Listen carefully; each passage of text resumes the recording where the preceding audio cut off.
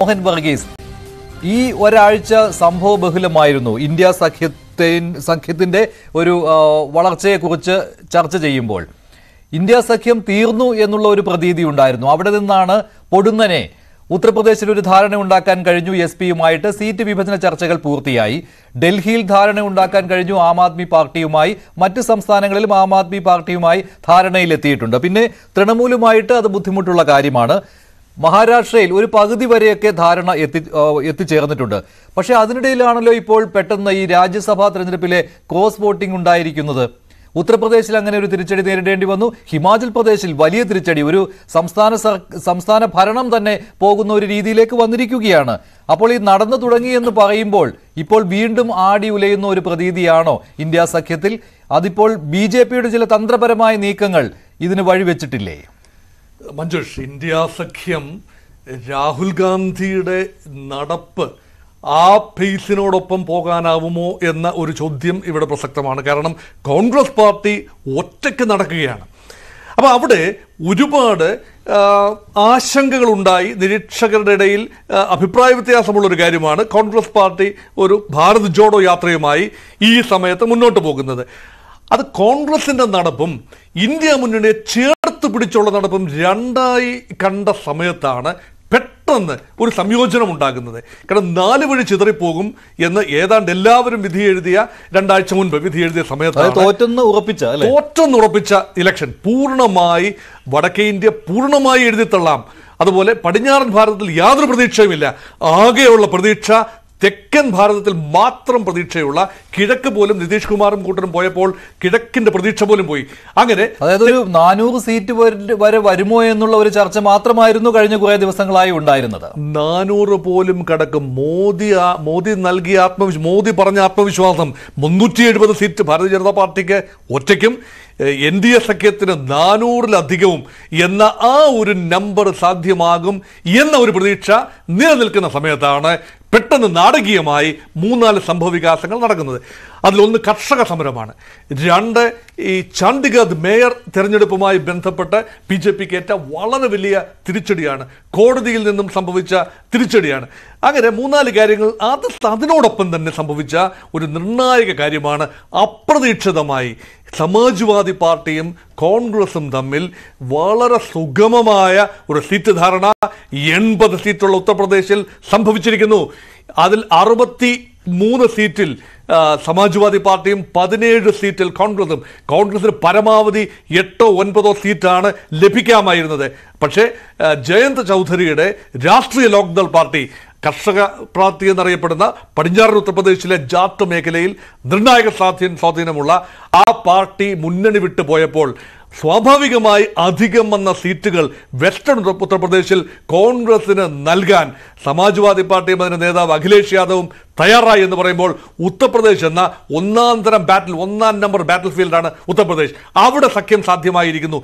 രണ്ടാമത്തെ സംസ്ഥാനമായ മഹാരാഷ്ട്ര നാൽപ്പത്തിയെട്ട് സീറ്റുകളുള്ള മഹാരാഷ്ട്രയാണ് രാജ്യം ഉറ്റുനോക്കുന്ന ഒരു സംസ്ഥാനം. അവിടെ ബി ജെ പിയും ശിവസേനയും തമ്മിലുള്ള തർക്കം നമ്മൾ കണ്ടതാണ്. അതിനുശേഷം ശിവസേന പിന്നെ ഭരണത്തിൽ ഏറി ഉദ്ധവ് താക്കറെ മുഖ്യമന്ത്രിയായി ഒരു വലിയ മഹാവികാസ് അഗാദി എന്ന രൂപത്തിൽ ഒരു മുന്നണി ഉണ്ടാക്കി. ആ മുന്നണിയെ പിളർത്തിക്കൊണ്ട് രണ്ട് പാർട്ടികളെ പിളർത്തിക്കൊണ്ട് ഭാരതീയ ജനതാ പാർട്ടി വീണ്ടും അവിടെ ഷിൻഡയുടെ നേതൃത്വത്തിൽ ശിവസേനയുടെ ഒരു ഫാക്ഷന്റെ നേതൃത്വത്തിൽ ഗവൺമെന്റ് രൂപീകരിച്ച് മുന്നോട്ട് പോകുമ്പോൾ യഥാർത്ഥത്തിൽ ശിവസേനയുടെ ആണികൾ എവിടെ എൻ സി പിയുടെ ആണികൾ ശരത് പവാറിനോടൊപ്പമാണോ അജിത് പവാറിനോടൊപ്പമാണോ കോൺഗ്രസിന്റെ ബേസ് അവിടെ സുരക്ഷിതമാണോ ഇതെല്ലാം പരിശോധിക്കുന്ന ഒരു തെരഞ്ഞെടുപ്പ് കൂടിയാണ് മഹാരാഷ്ട്ര. അവിടുത്തെ നാൽപ്പത്തിയെട്ട് സീറ്റിൽ മുപ്പത്തി ഒൻപത് സീറ്റിൽ ധാരണയായിരിക്കുന്നു. ഇനി കേവലം ഒൻപത് സീറ്റിൽ മാത്രമാണ് ധാരണയാകാനുള്ളത് എന്നാണ് മനസ്സിലാക്കുന്നത്. അത് ബോംബെ മേഖലയിലെ സീറ്റുകളിലാണ് ഇനി ധാരണയാകാനുള്ളത്. അപ്പം മഹാരാഷ്ട്രയിലെ കാര്യവും കാണും മൂന്നാമത്തെ വലിയ സംസ്ഥാനത്ത് മാത്രമാണ് വലിയ ആശങ്ക. അത് ബംഗാളാണ്. നാൽപ്പത്തിരണ്ട് സീറ്റുകളുള്ള പശ്ചിമ ബംഗാളിൽ ഇപ്പോഴും മമതാ ബാനർജി അമ്പിനും വില്ലിനും അടുത്തിട്ടില്ല. അവിടെ ഇപ്പോഴും ഒരു ധാരണയായിട്ടില്ല. അത് ധാരണയാകുവാനുള്ള സാധ്യത വിരളവുമാണ്. പക്ഷേ ഈ ചെറിയ സംസ്ഥാനങ്ങളിലേക്ക് വരുമ്പോൾ ഈ ആം ആദ്മി പാർട്ടിയുമായിട്ട് ഇപ്പോൾ ഡൽഹിയിലെ ഏഴ് സീറ്റുകളിൽ ധാരണയാക്കാൻ കഴിഞ്ഞിട്ടുണ്ട്. അതുകൊണ്ട് പിന്നെ മറ്റ് സംസ്ഥാനം ഇപ്പോൾ ഗുജറാത്തിൽ ഒരു സീറ്റ് ആം ആദ്മി പാർട്ടിക്ക് വിട്ടുകൊടുത്തുകൊണ്ട് ധാരണയിലേക്ക് വരുന്നു. അതൊക്കെ എത്രമാത്രം ഗുണം ചെയ്യുമെന്നാണ് അടുത്തത്. പക്ഷേ അതിനുശേഷം സംഭവിച്ച കാര്യങ്ങളാണല്ലോ. ഇപ്പോൾ രാജ്യസഭാ തെരഞ്ഞെടുപ്പിൽ അങ്ങനെയാണെങ്കിൽ ആ ഒരു കെട്ടുറപ്പ് അവിടെ കാണേണ്ടതാണ്. പക്ഷേ ഓരോ പാർട്ടിയിലും പ്രശ്നങ്ങൾ ഉടലെടുക്കുകയാണ്. എസ് പിയിൽ പ്രശ്നമുണ്ടായി. ഉത്തർപ്രദേശിൽ. അത് ഈ ഇന്ത്യ സഖ്യത്തിലെ ചില അസ്വാരസ്യങ്ങൾ മൂലം ഇങ്ങനെ ഒരു സഖ്യത്തിന്റെ സാധ്യതകൾ അത് എത്ര കണ്ട് അത് ഉപയോഗപ്പെടുത്തുവാൻ പറ്റും ലോക്സഭാ തെരഞ്ഞെടുപ്പിൽ ജയിക്കുമോ എന്നുള്ള സംശയമൊക്കെ വന്നപ്പോഴാണല്ലോ ഇത്തരത്തിലുള്ള ക്രോസ് വോട്ടിംഗ് കാര്യങ്ങളും ഒക്കെ വരുന്നത്. ആ രീതിയിൽ നമുക്ക് വ്യാഖ്യാനിക്കാമല്ലോ. ഹിമാചൽ പ്രദേശിൽ ശരിയാണ്. മുഖ്യമന്ത്രിയോടുള്ള എതിർപ്പ് കൊണ്ട് ഇങ്ങനെ സംഭവിച്ചു. പക്ഷെ അത് മാത്രമായിരിക്കുമോ കാരണം? മഞ്ജുഷ് ഈ രാഷ്ട്രീയം ഒരു വലിയ സാധ്യതയുടെ കലയാണ്.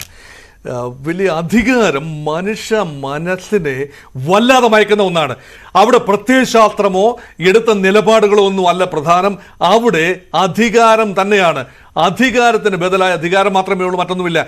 അധികാരം ലഭിക്കാൻ സാധ്യതയുള്ള മുന്നണി എൻ ഡി എ ആണ് എന്ന വിശ്വാസത്തിൽ പ്രത്യയശാസ്ത്രത്തെയും ഇതുവരെ എടുത്ത മൂല്യാധിഷ്ഠിത നിലപാടുകളെയും എല്ലാം കാറ്റിൽ പറത്തിക്കൊണ്ട് വ്യക്തികൾ ഇത് പാർട്ടികൾ എന്ന് പറയുന്നില്ല വ്യക്തികൾ ചെയ്യുന്ന കാര്യങ്ങളാണ്. അതാണ് കൂടുവിട്ട് കൂടുമാറ്റം തിരഞ്ഞെടുപ്പിന് തൊട്ട് മുൻപ് മുന്നണി മാറ്റം അല്ലെങ്കിൽ കൂട് വിട്ടുള്ള കൂടുമാറ്റം വ്യാപകമാകുന്നതിന്റെ അടിസ്ഥാനം അതാണ്. അവിടെയാണ് പാർട്ടികളെ സംബന്ധിച്ചിടത്തോളം ജനങ്ങൾ വിശ്വസിക്കുന്നത് എങ്ങനെ? കോൺഗ്രസ് പാർട്ടി കഷ്ടപ്പെട്ടാണ് ഹിമാചൽ പ്രദേശിൽ ഭൂരിപക്ഷം ലഭിച്ചത്. അറുപത്തെട്ടംഗ നിയമസഭയിൽ നാൽപ്പത് സീറ്റുമായി കോൺഗ്രസ് പാർട്ടി സാമാന്യ നല്ല പ്രകടനമാണ് കാഴ്ചവെച്ചത്. അപ്പം ബി ജെ പിയുടെ പണക്കൊഴുപ്പിനെയും അതുപോലെ അതിശക്തമായ പ്രചരണ സംവിധാനത്തെയും ഡബിൾ എഞ്ചിൻ സർക്കാർ എന്ന പ്രോമിസിനെയും എല്ലാം മറികടന്നുകൊണ്ട് കോൺഗ്രസ് പാർട്ടിക്ക് നാൽപ്പത് സീറ്റ് ലഭിച്ചു. ഓർക്കണം രാജ്യസഭാ തെരഞ്ഞെടുപ്പിൽ കോൺഗ്രസ് പാർട്ടി പരാജയപ്പെട്ട മുപ്പത്തിനാല് സീറ്റ് മുപ്പത്തിനാല് സീറ്റ് എന്ന രീതിയിൽ അവിടെ വന്നു അറുപത്തെട്ടിൽ. അവിടെ ടോസിലൂടെയാണ് രാജ്യസഭാ സീറ്റിലേക്ക് ബി ജെ പി നിർത്തിയ സ്ഥാനാർത്ഥി ജയിച്ചത്. കോൺഗ്രസിന്റെ ആറ് എം എൽ എമാർ കൂറുമാറി വോട്ട് ചെയ്തു. സ്വതന്ത്രരായ മൂന്ന് പേരും കൂറുമാറി വോട്ട് ചെയ്തു. അങ്ങനെ വരുമ്പോൾ സ്വതന്ത്ര കൂടുമാറെന്ന് പറയാൻ പറ്റില്ല. കോൺഗ്രസിനോടൊപ്പം നിന്ന സ്വതന്ത്രർ ഇപ്പോൾ മാറി ബി ജെ പിയോടൊപ്പമായി. അപ്പോൾ അങ്ങനെ ഹിമാചൽ പ്രദേശ് എന്ന ചെറിയ സംസ്ഥാനമാണ്. നാല് ലോക്സഭാ സീറ്റ് മാത്രം നൽകുന്ന ഹിമാചൽ പ്രദേശ്.